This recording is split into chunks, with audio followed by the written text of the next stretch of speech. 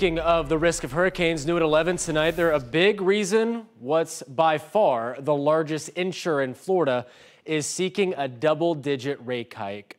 Longtime Floridians know that Citizens was created to be the insurer of last resort, which once upon a time made it the most affordable.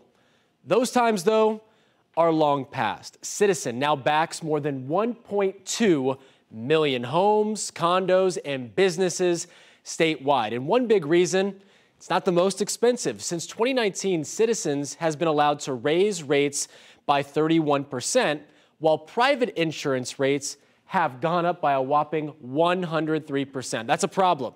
Now, because Citizens is backed by the state, if disaster strikes and Citizens can't pay, every single home and business in Florida could be on the hook. News 6's Catherine Silver breaks down the proposed rate hike and what it would mean for your bottom line. For Citizens policyholders, it really feels like more of the same. Another year and another proposed double digit rate hike. And here in Florida, that means about a million people will likely be paying more for their home insurance next year. How much more? Citizens wants to raise all personal line policies about 14%. That covers homes, condos, and renters. This is a county by county estimate from Citizens. The more than 30,000 homeowners in Orange County with multi-peril policies would go from a current premium of about 2,500 to 2,900. Are these rates final? The answer is not yet. We got to this place because it's up to the Office of Insurance Regulation to make it official. They must approve the increases or ask Citizens Insurance to make changes before they go into effect next year.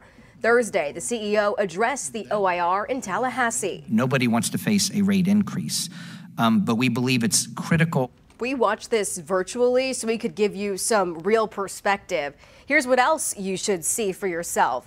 Since 2019, Citizens has only been able to raise its rates about 31%. Compare that to private insurers who have gone up 102%.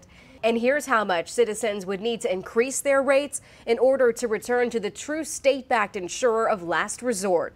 Look at Brevard County, where the rate increase required to be on par with other insurers is over 140%. As a governmental uh, insurer of last resort, we should never be competing with the private market.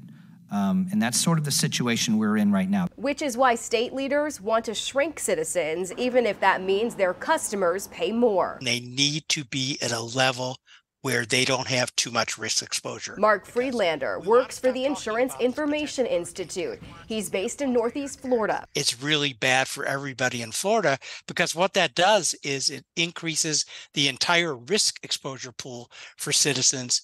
And if they were to suffer substantial losses, there's always the chance of them having to implement what we call a hurricane tax. What's the bottom line for everyone, whether you're a policyholder with Citizens or not. The good news is the insurance industry in Florida is in its best financial position in nearly a decade. And that's great for consumers.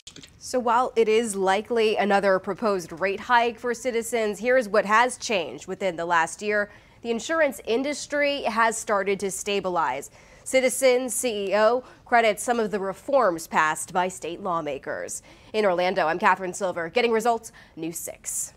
Catherine, thank you.